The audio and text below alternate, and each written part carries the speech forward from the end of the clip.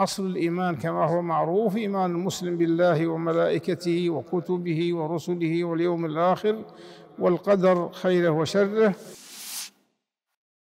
لا شك أن الحاج ينبغي أن يهتم كل الاهتمام بهذا الأمر وأن تكون عقيدته صحيحة لأن الإيمان هو أساس العمل وهو منطلق المسلم في حياته.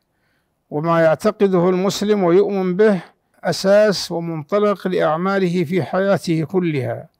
ولذلك إذا كان الاعتقاد نسأل الله العافية غير صحيح أو فيه إشكالات كذلك الأعمال تكون غير صحيحة أو فيها إشكالات. وطبعا أصل الإيمان كما هو معروف إيمان المسلم بالله وملائكته وكتبه ورسله واليوم الآخر والقدر خيره وشره.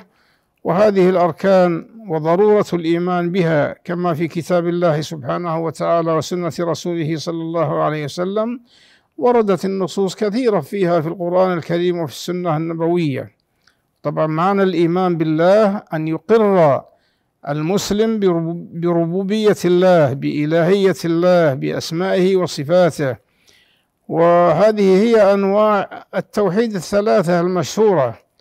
فطبعا توحيد الربوبية توحيد الله سبحانه وتعالى بأفعاله خلقا ورزقا وحياة وموتا وأنه رب كل شيء ومليكه.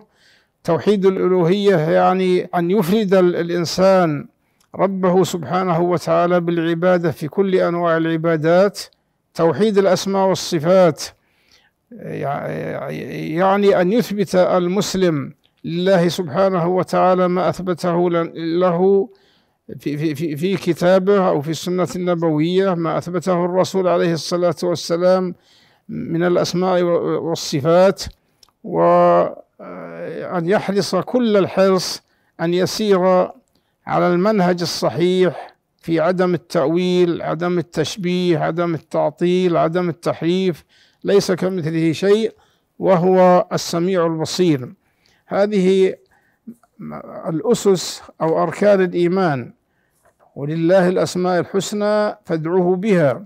ولذلك لا بد أن تكون الدعوة متجهة إلى أسماء الله سبحانه وتعالى الثابتة في كتابه وسنة رسوله.